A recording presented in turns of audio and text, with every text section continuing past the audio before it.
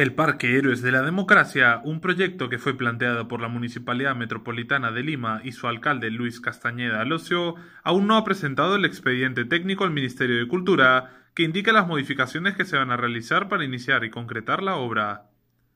Al respecto, la ministra de Cultura, Patricia Balbuena, comentó durante su visita a Huánuco por la problemática del friaje, que a diferencia del lugar de la memoria, no han sido convocados para dar a conocer los detalles de su contenido y agregó que cualquier sitio de memoria merece pasar por un proceso de discusión amplia. He emitido un oficio a la Municipalidad Metropolitana de Lima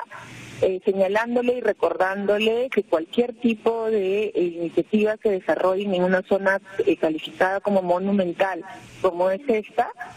tiene que pasar por la opinión técnica del Ministerio de Cultura. De toda la zona, digamos, donde está incluida el Parque Neptuno, está considerada como zona monumental y parte del patrimonio del Centro Histórico de Lima. No hemos recibido hasta ahora comunicación alguna de la municipalidad y no hemos recibido, por tanto, también copia del expediente que nos permita ver cuál es el tipo de modificación